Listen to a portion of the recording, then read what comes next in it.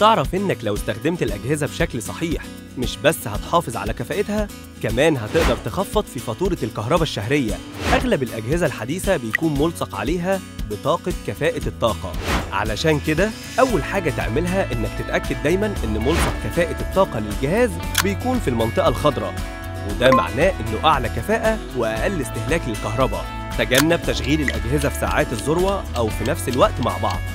لما تشغل التكييف اتأكد إنك قافل الشبابيك وحافظ على درجة الحرارة من 25 ل 26 تنظيف فتحات التهوية بتزود من كفاءته وبتقلل من استهلاك الطاقة بشكل ملحوظ.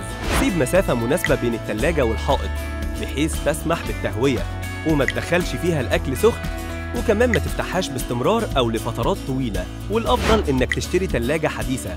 لأنها بتعمل بتكنولوجيا متطورة أكتر كفاءة. شغل السخان قبل ما تستخدمه بنص ساعة عند درجة حرارة مناسبة بين 50 ل 60 وافصله وانت نايم واختار الحجم المناسب لاحتياجك لأن الحجم الأكبر معناه استهلاك كهرباء أعلى. وده برضه بنطبقه مع الغسالات العادية وغسالات الأطباق. اللي ما تشغلهاش غير لما تتملي وما تزودش درجة الحرارة عن 40 درجة. أو استخدم ماء بارد لأنه هيوفر لك 90% من طاقتها. ودايما اتوجه للتجفيف بالهواء. حاجة تانية مهمة هي الإضاءة. استخدم اللمبات الليد علشان بتوفر 90% من استهلاك الكهرباء عن اللمبة العادية. صحيح إن سعرها غالي مقارنة بالأنواع التانية لكن عمرها الافتراضي أطول بيوصل إلى 30 ألف ساعة. كل التغييرات البسيطة دي هتوفر لك في استهلاك الكهرباء وده هيأثر في فاتورتك الكلية.